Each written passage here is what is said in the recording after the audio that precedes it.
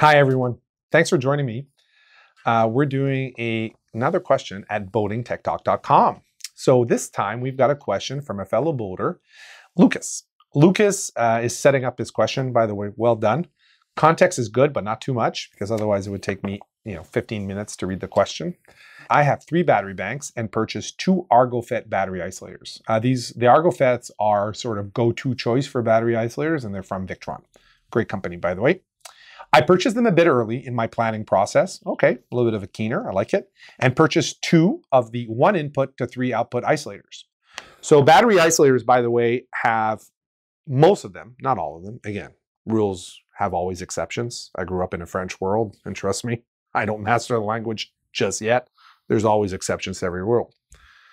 One input, multiple outputs. So it could be one to two or one to three. Okay, coming down. So why? Well, you could have one alternator wanting to recharge a house battery, an engine battery, and a thruster battery, right? So in this situation, the boater has two engines and two alternators. And so each alternator is going to be connected to a battery isolator, sort of like a Y. And in turn, that battery isolator could be connected to three batteries. So the question is, Jeff, can I leave one output unwired on my Argo ArgoFET battery isolator? Oh, God, I love these questions. This is good because I ask myself those questions too. By the way, when I get excited about a question is I think about these things too.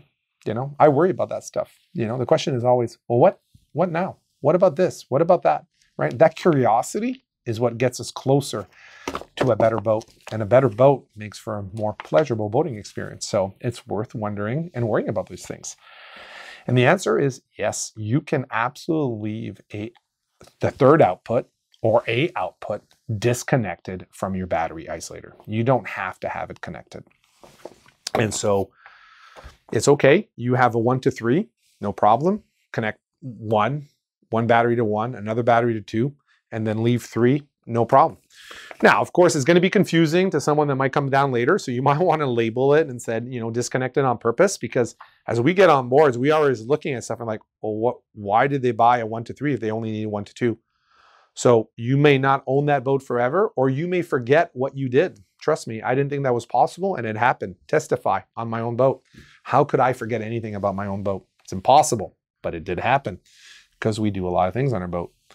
And so I would probably just label it, have a little note, say intentionally disconnected, you know, waiting for a third, maybe a third battery bank. Maybe one day you're going to have a generator being charged from the alternator or you're going to put another thruster in. That's all possible. But yes, you don't have to connect all three outputs on a one to three. So great question and thanks for asking. Thank you for watching this PYS video. If you've got further questions, please ask them below or send us an email via the contact forms on our website. Happy to donate my time to share information with you. You can support us in keeping this channel ad-free by purchasing some merchandise on our store or by making a donation on PayPal. And don't forget to subscribe. Thanks again for watching.